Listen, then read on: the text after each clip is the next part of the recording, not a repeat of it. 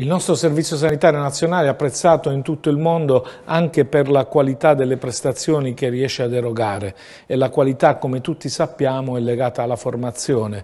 La decisione del Governo di aumentare le borse post laurea a 12.000 unità ci riempie di grande gioia. Probabilmente riusciamo in questa maniera a risolvere in maniera definitiva l'imbuto formativo e a consentire a tutti i neolaureati in medicina di avere una chance per potersi formare eh, subito dopo la laurea senza ricorrere a dover espatriare, andare all'estero o trovare soluzioni veramente talvolta fantasiose.